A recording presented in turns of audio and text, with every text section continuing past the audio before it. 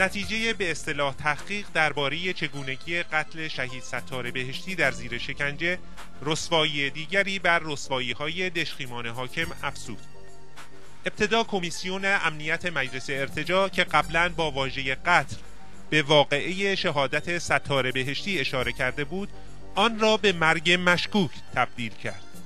و در جلسه روز یکشنبه این کمیسیون دواتگری یکی از اعضای این کمیسیون افزود کبودی ها عامل مرگ ستاره بهشتی نمی‌تواند باشد. از سوی دیگر خبرگزاری حکومتی مهر به نقل از رئیس مزدور پزشکی قانونی رژیم اعلام کرد.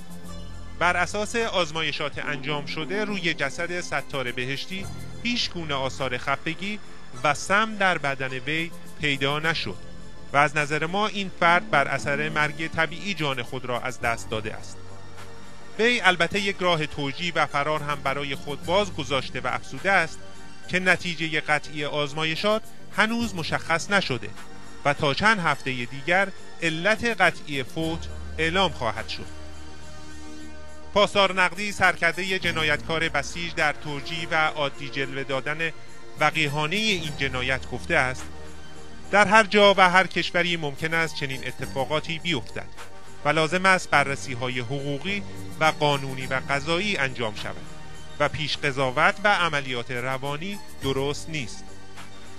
البته از پیش نیز به حکم هزاران تجربه سالهای اخیر از قتلهای زنجیری از سلاخی فروهرها تا قتل کشیشهای آزادیخواه تا قتل زهرا کازمی و زهرا بنی یعقوب و تا قربانیان کهریزک و تا زیر آب کردن سر پزشک کهریزک که همه آنها به نتیجه مشابهی انجامید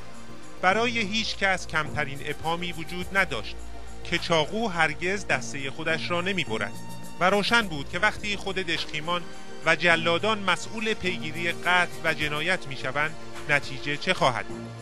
اما اعلام آن و به خصوص توجیهات مسخره‌ای که جانیان درباره این رسوایی می کنند برگ دیگری بر پرونده قطور رسوایی های این رژیم پدید و سراسر جنایت افسود